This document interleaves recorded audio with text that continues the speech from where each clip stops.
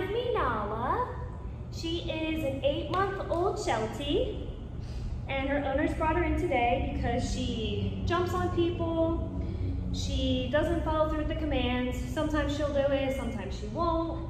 Uh, can pull on the leash when she's out for a walk. And she's also, she goes crazy when she sees any moving vehicle, trucks, cars, anything going by. She goes crazy. So let's see what already knows. Nala, sit. Nala, place. Place. Nala, come. Come. Good girl. Sit. Good. Yep.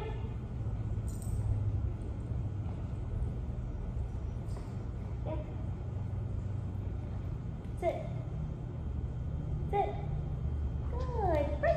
Alright. Okay, so she knows a few things, but like they said, she knows some commands, but just doesn't follow through all the time, especially with distractions and things like that.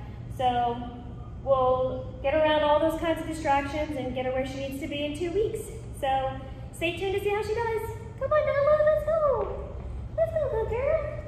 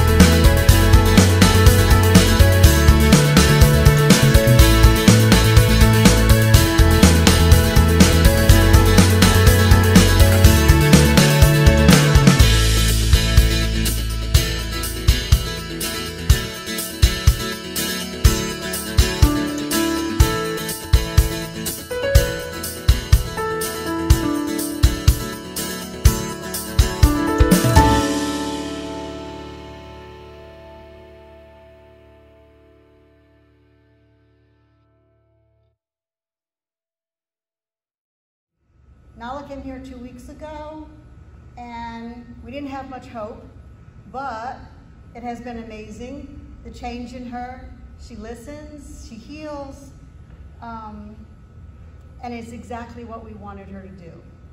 She's uh, totally changed from the dog that she came in at. Now she's going home as a well-trained adult dog.